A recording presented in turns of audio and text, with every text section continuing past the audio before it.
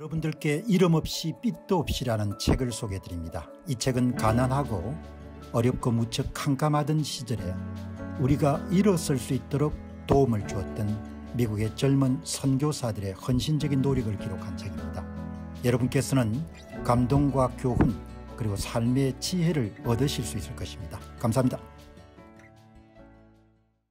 자, 여러분 오늘 이 언급의로 다시 한번 여러분들 살펴보도록 그렇게 하겠습니다.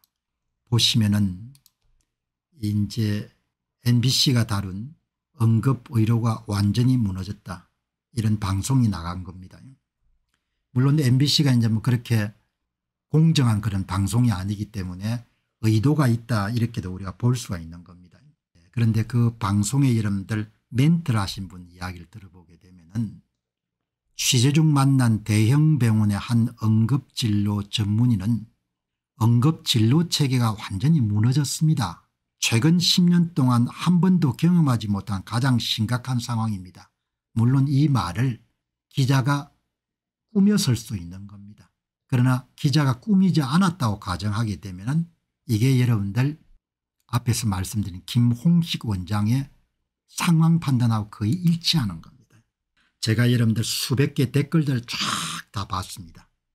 거기에 어떤 이야기들이 왔는지 그냥 뭐 비난하거나 이런 이야기 다 집어치우고 보시기 바랍니다. 제가 일주일 전부터 뇌경색으로 입원 중입니다. 혈관경색으로 3년째 시술 때 그 시술을 담당해 준 병원 이번에는 119를 부르고 구급대원에게 알려드리니 바로 전화를 했습니다. 그런데 그 병원에서 돌아온 답은 시술은 안 되고 입원 치료도 불가능합니다. 황당했습니다. 뉴스로만 의료대란 얘기를 듣다 현실로 마주치니까 말로 표현을 할 수가 없습니다. 사람이 이렇게 본인이 본인 문제가 돼야 깨우치는 겁니다. 김종인 씨가 여러분들 이마에 8cm 정도 여러분들 찢어져 가지고 22군데 응급실에서 놓으라고 이런 답을 받으니까 본인이 큰일 났구나. 이게 의료 대란이구나. 최고의 민생 과제는 의료 대란이고 의료 대란을 여러분들 제대로 해결하지 못하면 정권이 유지가 안 되겠구나. 그런 이야기를 본인이 당하고 나서 하는 겁니다. 이분도 마찬가지인 겁니다. 큰 병을 알았지만 본인이 경험하고 나서 그때 이게 진짜 큰일 났구나 이렇게 이야기하는 겁니다. 그래서 여러분들 방송의 하단을 제가 유심히 본 겁니다. 지금 이 상황인 겁니다. 입원 불가 시술 불가 이렇게 된 겁니다. 지난 주말에 야근하던 직장 동료가 갑자기 복통을 일으켜서 119를 불러서 병원에 왔습니다. 그런데 앞에 구급차 안에 응급 환자가 실린 채 응급실도 못 들어가고 밭에 밖에 여러분들 응급차가 세 대나 기다리고 있었습니다. 이게 뭔 전쟁통도 아니고 직접 여러분들 경험하신 분이 이렇게 우리가 현장을 다 가볼 수가 없으니까 그 여러분들 해당 응급센터에 수용할 수가 없는 겁니다. 수용. 예. 수용할 수 없고 그냥 북새통이라는 거 아닙니까 북새통. 그러니까 의료 전달 체계가 완전히 엉망진창이 된 겁니다. 그리고 의료 역량이 3차 병원이 현장에 떨어진 겁니다. 의료 역량에 딴 게 있으면 전공이 빠지고 전문의들의 과도한 이런 로드가 걸리고 전문의들 탈진해서 뭡니까 사표 내고 그러니까 이런 처리 소위 공장 가동률이 현장에 낮아진 겁니다. 이걸 여러분들 이런 걸 통해서 우리가 방송의 공정성 문제를 떠나가지고 팩탈 이렇게 우리가 알 수 있는 겁니다. 안 가보더라도 응급실을 방문해 이런 상황 보지 않더라도 흔히 막 여러분들 알 수가 있는 겁니다. 예. 제가 아이가 아파서 응급실로 달려갔는데 아무것도 안 하고 12시간 있었습니다. 그리고 입원했습니다. 제가 아주 돌아버리는 줄 알았습니다.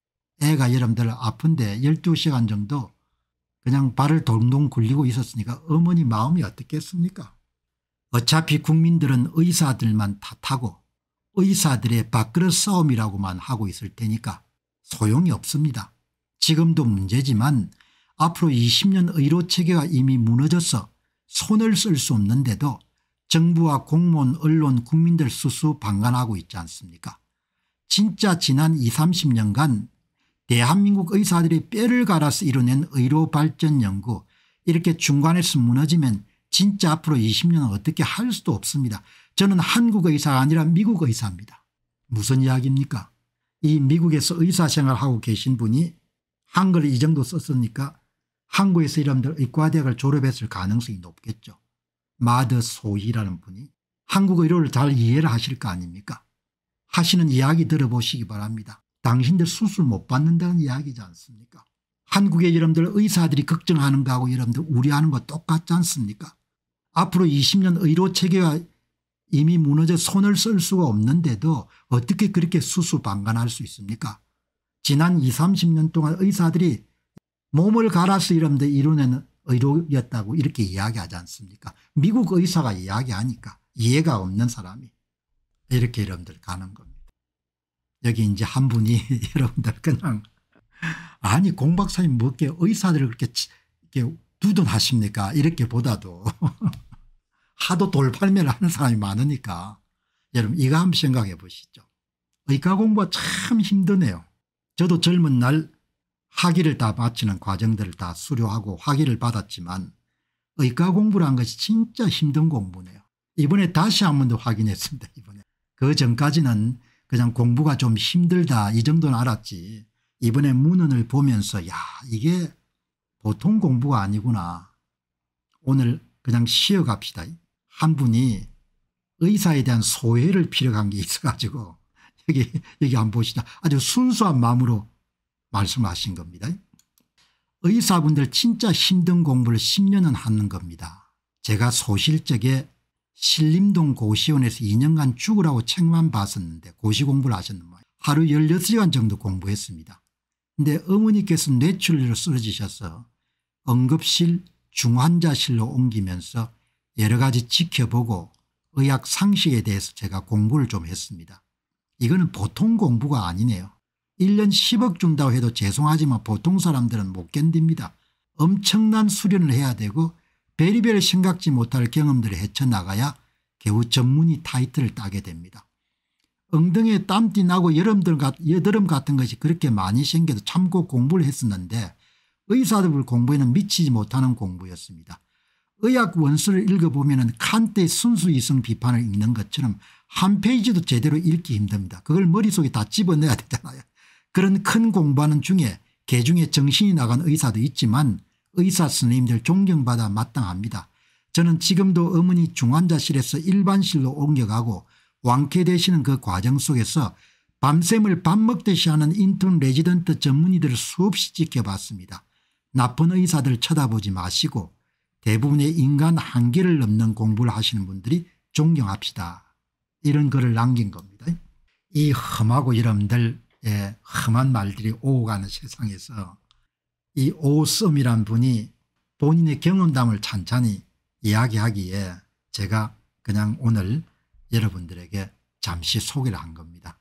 이게 참 공부가 아주 어려운 공부입니다. 어려운 공부이기 때문에 사회가 그것에 걸맞는 그냥 대우라든지 그다음에 인정을 하는 것이 중요하겠죠. 예, 이분 뭐 이야기에 특별한 끈기 없는 건 하도 사회가 이상한 그런 태도를 보이니까 자기 경험을 이렇게 말씀을 하신 거죠. 예. 여기 이제 TP2016님께서 저는 의대 졸업했을 때 부모님께 저는 의과대학을 졸업한 게 아니라 의과대학에 살아남았습니다 하고 말씀드렸습니다. 제가 의사생활 30년 가까이 했고 이제 그만두고 싶습니다. TP2016님 동네에서 이름들 전문의들 되게 만나지 않습니까 안과나 이비인후과 어디를 가더라도 이제 이렇게 고된 공부였다고 이렇게 생각하시는 분이 많이 없을 겁니다. 김홍식 원장께서 이제 산모가 119 안에서 여러분들 아이를 낳게 됐다는 그런 보도를 보시고 남긴 글을 한번 여러분들 확인해 보시기 바랍니다. 산모가 분만할 곳을 찾아 헤매다가 앰뷸런스에서 분만을 하고 응급 환자들이 제때 안내를 받지 못해 응급실 뺑뺑이를 돌고 있습니다. 이것은 의사들의 의도로 벌어진 것이 아니고 정부의 대책 불실 때문에 일어난 것입니다. 최선을 다하던 의사가 번아웃 탈진되고 전공인은 사직시켜버려서 이제 더 이상 메울 방도가 없어졌습니다. 전공의들을 돌아오게 할 방도가 여러 차례 있었음에도 불구하고 고집스럽게 의과대학 정원을 계속 여러분들 움켜쥐고 비극을 정부가 고의로 만들어낸 것입니다. 의과대학 정원을 변경시키면서 의사단체와 협의하지 않는 나라는 우리나라뿐일 것입니다. 정부의 아집은 저는 병적이라고 생각합니다. 그 결과 국민들이 앞으로 중병에 걸렸을 때 치료를 받지 못하게 될 것입니다. 하반기 전공의를 뽑을 능력도 없으면서 미복귀 전공이 모두 사직 처리해버리고 말았습니다. 이제 전공의를 불러 모을 수가 없습니다. 이제 사직 처리했기 때문에 이제 전공의는 한국에 없는 겁니다. 그 전까지는 돌아와요 전공이라고 할 수 있으면 이제 전공의 신분이 없는 겁니다. 2차 3차 10차로 추가 모집하더라도 지금의 정부 자세로는 돌아올 수 없을 것입니다. 무식한 표현을 사용하자면 사고나 응급질환에 걸리지 말고 조심할 수밖에 없습니다. 이런 상황에도 정부에 촉구하지 않고 번아웃된 돌아올 수 없는 의사들에게 돌아오라 외치는 사람들은 응급실 사태에게는 관심이 없는 국민입니다. 이렇게 이야기를 하는 거죠. 그럼 제가 오늘 한 가지 더 부탁드리고 싶은 것은 이런 내용이 여러분들 뭐 의사들을 두둔하거나 옹호하기 위해서 하는 게 아닙니다. 그냥 이거를 이런 문제를 너무나 중요하지만 대다수가 다루지 않기 때문에 그런 너무나 중대한 문제이기 때문에 시시비비를 가리고 나라가 좀 잘 될 수 있는 방법을 제안하는 거지. 뭐 누구 집에 아들 딸이 이러면 의사가 있기 때문에 그런 어마어마하게 여러분들 모멸적인 그런 표현이지 않습니까?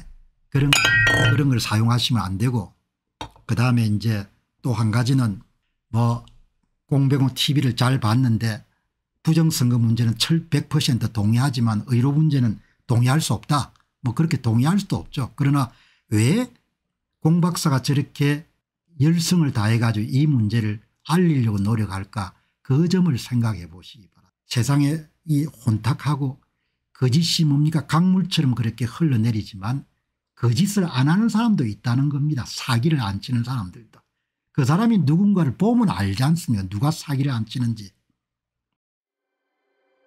안녕하십니까 공병호입니다. 그동안 공병호 tv는 선거 공정성 회복과 자유민주주의 체제의 보존과 발전을 위해 노력해왔습니다.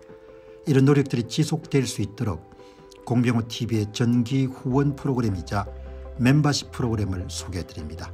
뜻 있는 분들의 관심과 동참을 부탁드립니다. 선거 공정성 회복을 위한 노력을 지지하시고 훌륭한 나라 만들기에 동참하시는 시청자분들이시라면 구독 버튼 바로 옆에 있는 가입 버튼을 통해서 정기 후원 프로그램에 가입할 수 있습니다. 가입 버튼을 누르시면 공병호TV의 후원자가 되시게 됩니다. 여러분의 후원이 선거 공정성 회복을 위한 노력에 힘을 더할 수 있을 뿐만 아니라 자유민주주의 체제의 수호를 그리고 발전을 통해 여러분과 후손들의 삶에 빛과 소금이 될 것입니다. 특히 그동안 공병호TV는 선거 공정성 회복을 위한 노력 과정에서 채널 성장에 제약이 가해지는 불이익을 감수해왔고 지금도 그런 불이익이 계속되고 있습니다. 그럼에도 불구하고 너무나 중대한 문제이기 때문에 공병호 TV의 노력은 계속될 것입니다. 여러분의 깊은 관심을 부탁드립니다. 감사합니다.